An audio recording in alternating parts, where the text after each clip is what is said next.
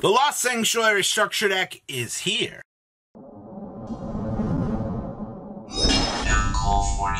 Make sure you guys smash it, like, of that subscribe button so you guys don't miss out more Lost content. We're going to be going over Lost Sanctuary. Is the structure deck going to be worth being a structure deck when it arrives here in the TCG? I don't know, but we're going to use our best judgment to check over these cards and look at how the deck is constructed in the OCG. So Majesty Hyperion, this is going to be one of the two uh, highlights for this deck. So you can smash some of this card from your hand or graveyard by banishing one the agent monster from your hand, field, or graveyard. So Earth, Venus, Mars, all of the little disciples are able to be used as this fodder. You can only special summon Majesty Hyperion once per turn this way. All battle damage you take from battles involving your fairy monsters is also inflicted to your opponent. So you can technically ram a bunch of monsters, that's fine. And then once per turn you can banish one fairy monster from your hand or graveyard, target one card in either graveyard, banish it. If Sanctuary in the Sky is on the field or in the graveyard, you can use this effect up to twice per turn. Overall, not a bad boss monster. It's really weird that its stats were inversed at 21-27, but that is our big, big, I guess, focus for this deck. Now, the Agent of Life, Neptune. So we can discard this card special summon one the Agent monster from your hand or graveyard. I really wish that this gave us the ability to summon from the deck, but alas, they didn't think that was good enough. But it cannot be tributed until the end of your opponent's turn. Alright, so that's interesting. I mean, at least you get to beam out an extender, and most of the time you're gonna, uh, it, I guess it extend out Venus or Earth, but alright. If the Sanctuary of Sky is on the field or in the graveyard, you can special summon one Hyperion monster instead. So Master Hyperion can actually come out. If this card is banished, you can add one the Ancient, or Ancient Sky uh, from your deck to your hand. So basically, if you have the big guy out, you use this as banish fodder. You can go recruit for Sanctuary in the Sky. But this card just, everything feels subpar for this deck to start here. Next up was Chorus in the Sky. This is one of the better cards that they got. So, pay thousand life points. Target one fairy monster in your graveyard, add it to your hand. Then if the Sanctuary in the Sky is on the field or in the graveyard, you can add one of your banished the Sanctuary in the Sky or one of your banished cards that specifically list the Ancient Sanctuary in the text to your hand. You can only activate one Chorus in the Sky once per turn. For a thousand life points, getting the ability to tutor for anything back as a resource for the next turn is actually quite good. I'm actually surprised they didn't give this deck a searcher on top of Earth to basically make things more streamlined for the deck, but they value the recurability option because it's supposed to be a synchro-based strategy, so the recurability aspect makes sense here. Now, this is our centerpiece right here. This is by far the best thing that we got. So when this card is activated, alright, set one, the Ancient Sanctuary in the Sky, or one spell and trap card that specifically lists that card in its text directly from your deck. Alright? Check. That's really good. Alright?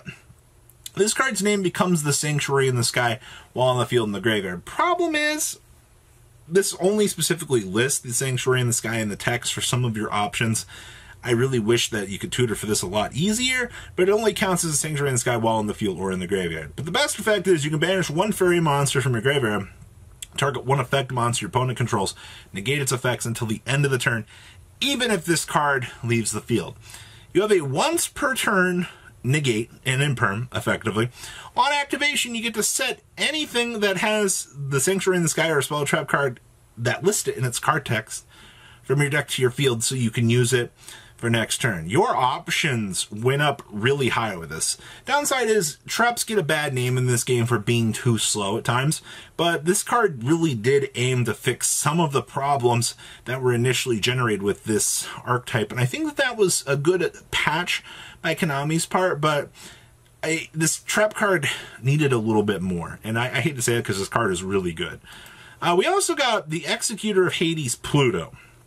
So this is one tuner plus one non-tuner to make it, and it's always treated as an agent monster. Alright, so once per turn, you can banish one monster from graveyard, and then target one effect monster on the field, change it to face down defense position. This is a quick effect if the Sanctuary in the Sky is on the field or in the graveyard, so your trap card.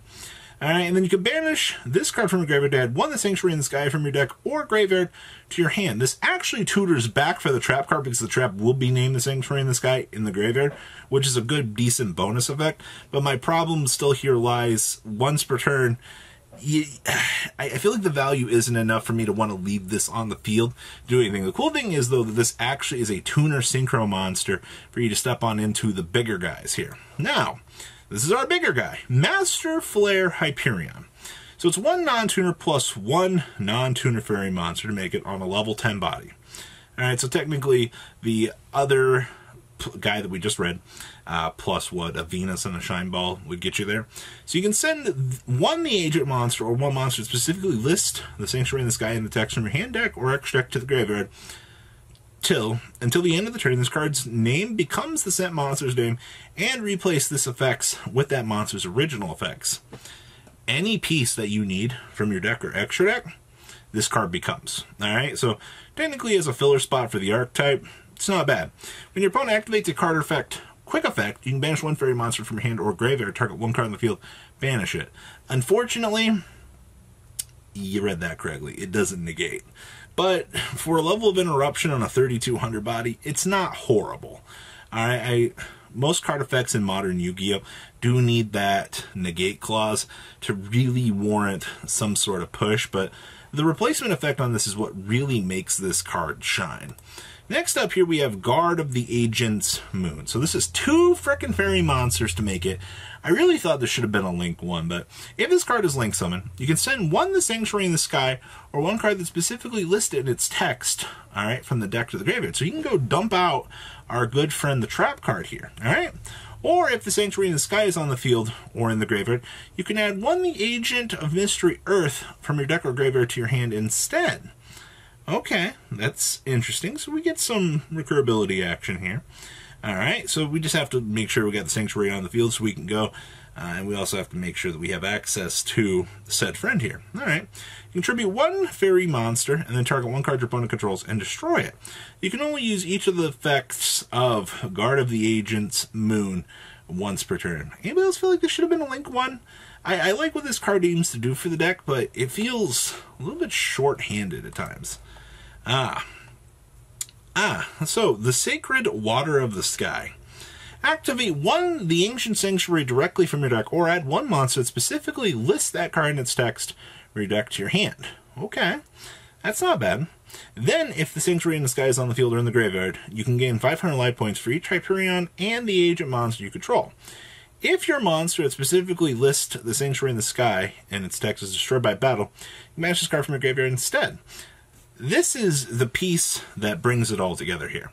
Because you get the ability to tutor for anything in your deck that list the Ancient Sanctuary in the Sky in its card text. Alright? You have a trap card that acts as an imperm. You have Earth and Venus revolving around the Shine Balls, which is going to be the central synchro strategy of the deck. But overall, how does the rest of the deck look for reprints here? Now, the gallery here that we have for this is we know about Majesty, Neptune, Master Hyperion, and then Saturn, Mercury, Mars, and Jupiter all got reprints in here. All right, Uranus also got a reprint here. Let's be honest, Uranus did need the reprint. Currently, it only has one printing in Dewey, and it is uh, a little bit expensive. You get two Shine Balls per deck, which is not bad. Archlord Kristya, Vanity's Ruler, Soul Purity and Light, Artifact Lancea, Remember that that is a fairy monster. Zeral, the Spirit Sculptor Barrier, Statue of the Heavens, Ret Time Reviver Emitter. Mm-hmm. I have a feeling that that'll be replaced come us. Uh, Herald of Orange Light, that's a good reprint. Ava, frickin' Nibiru, of all things, gets the reprint here as well. So you've got some really good value presented there. Sanctuary in the Sky cards, the Sanctum of Parshath. Ah, yes. Ah, hey, look, it's another card that becomes a Sanctuary in the Sky. Alright, Demise of Land. This is a very well needed reprint as well.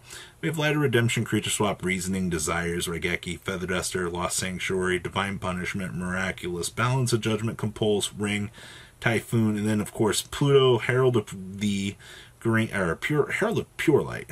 Ah, this guy, the Exceed. Alright. Then we also have the Celestial Knightlord Parshath in here as well. So overall, what are my final thoughts on this deck? I think this deck has potential in the tier 2 category for now. Uh, most of the things that we notice with a lot of these decks is year, two years down the line, you snap your fingers like, holy crap, it's suddenly good, and you're like, wow, I have to deal with this now. So that's where we're standing right now. Is this deck has potential? It, it got the searcher, it got the trap card it needed.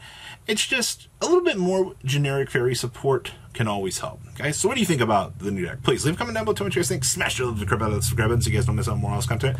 I'll see your beautiful faces back here later in the day with some more cool content. Peace out, guys. Have a good. One. Thank you, patrons, for making the ride never truly end. Without you guys' support, well. I would probably be doing Truffle Shuffle videos for a living. Guys, please check out Vanquill40 for all of your Cardfight Vanguard content brought to you by MKohl40. And if you are looking to pick up singles, check out mkohlgames.com for your trading card game needs. Thanks for watching, everybody.